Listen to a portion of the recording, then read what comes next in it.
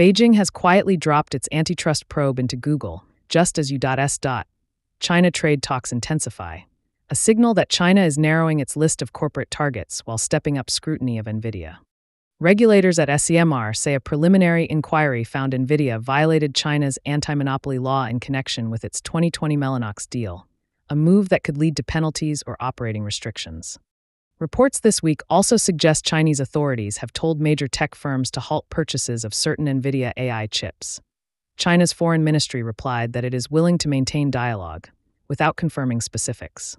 All this lands on top of the U.S. tightening this spring on NVIDIA's China bound H20 chips and China's April curbs on key rare earths, while U.S. lawmakers now threaten aviation access in retaliation for mineral squeeze tactics.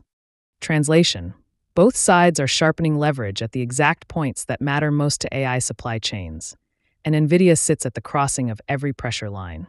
Let's break this down. NVIDIA is not just another tech company, it is the beating heart of AI innovation. Its chips power everything from self driving cars to cutting edge research labs to the latest breakthroughs in generative AI. The company is so important that its CEO, Jensen Huang, has become a global figure in tech and geopolitics and Huang has worked tirelessly to ensure NVIDIA maintains access to the Chinese market, even lobbying Washington directly to allow sales of advanced chips to Beijing. But here's the twist the same NVIDIA that fought so hard to keep China as a customer is now being targeted by Beijing itself. Chinese regulators have launched an investigation into the company, and they've already accused NVIDIA of violating anti monopoly rules. According to China, NVIDIA tried to corner the market hurting smaller players in the process. Now, this investigation didn't come out of nowhere. It traces back to a deal NVIDIA struck in 2020 when it acquired an Israeli company called Mellanox, which specializes in networking solutions for servers. Normally, you'd think this has little to do with China. After all, neither NVIDIA nor Mellanox is Chinese. But here's the catch because NVIDIA does so much business in China, Beijing had to sign off on the acquisition. And when it approved the deal, it imposed strict conditions. Now, regulators claim those conditions were violated. At first glance, this sounds like just another regulatory dispute. But let's not be naive. There's a much bigger game at play here. This isn't only about monopoly practices. It's about politics, leverage, and power. Just days before this announcement, China unveiled two major moves. First, it launched an anti dumping probe into American chip imports. Second, it announced a review of U.S. restrictions on China's chip industry. In other words, Beijing is retaliating against Washington's own crackdown. Think about the timing. Only last week, the U.S. government tightened restrictions on Chinese semiconductor firms.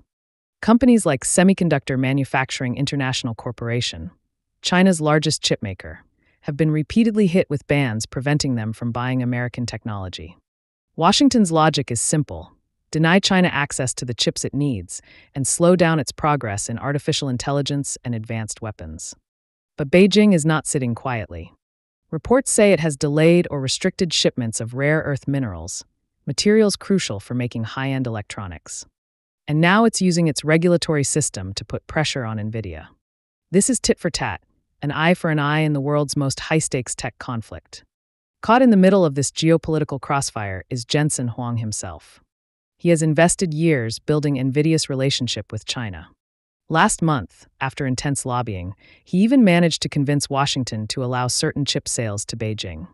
According to reports, he structured a deal that gave the US government a percentage of NVIDIA's China revenue, around 15%. That was the compromise. Huang thought he had secured a breakthrough. He even spoke publicly about the importance of China to NVIDIA's future. Quote NVIDIA has been in China for 30 years.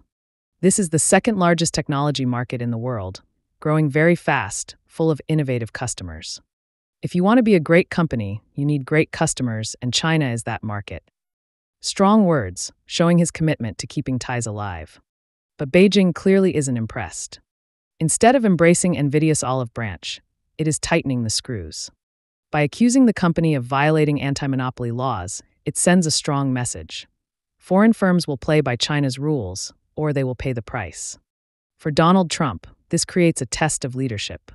Remember, Trump returned to the White House promising to protect American dominance in artificial intelligence. He pledged that the U.S. would stay ahead of China in chips and computing. Yet now, one of America's crown jewel companies is being dragged through an investigation in Beijing. This is not just a business dispute, it's a geopolitical plot twist. And it raises bigger questions. What happens if NVIDIA is punished in China? What if Beijing imposes fines, restrictions, or even bans on certain products? Will other US tech firms be next? Could Apple, Qualcomm, or Intel face similar crackdowns? And how will Washington respond? This is the new normal. The US and China are no longer competing just with tariffs or military drills. They are competing through technology, and chips are the battlefield.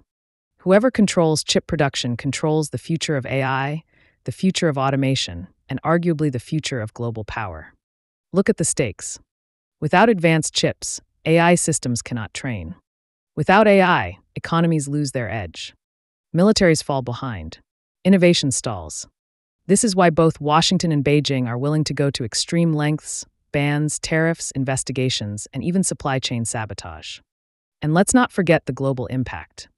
Countries in Europe, Asia, and beyond are watching closely. Taiwan, home to TSMC, the world's leading chip manufacturer, is under even more pressure as tensions rise. South Korea, with giants like Samsung, is being forced to pick sides. Even nations in the Middle East and Africa are caught in the middle, because access to chips determines their ability to modernize. For ordinary people, this war may feel distant, but its consequences are very real. Shortages of electronics, higher costs for smartphones and laptops, slower rollout of AI driven healthcare or education tools. All of this is connected to the chip war. When Washington bans exports, when Beijing retaliates with rare earths, the ripple effects hit the global market. Now back to NVIDIA. Will it survive this storm? History shows that companies targeted in China often struggle. Some face fines. Others are forced to share technology or make concessions. In some cases, they lose access to the market entirely. For NVIDIA, losing China would be a devastating blow. After all, China is not just another buyer. It accounts for a massive share of the company's revenue, with countless Chinese firms relying on its GPUs to train artificial intelligence. Jensen Huang knows this, which is why he has been fighting so hard to keep the relationship alive. But at the same time, he faces pressure in Washington. U.S. lawmakers do not want American firms empowering China's AI industry, especially as competition heats up in defense and surveillance technology. So Huang is walking a tightrope, balancing between two giants that both demand loyalty but punish compromise. It's a position no CEO envies, but it reflects the reality of doing business in today's divided world. And here's the irony both the US and China claim they want free markets, innovation, and global growth. Yet their actions are creating walls, not bridges. Every ban, every probe, every retaliatory measure pushes the world closer to technological decoupling.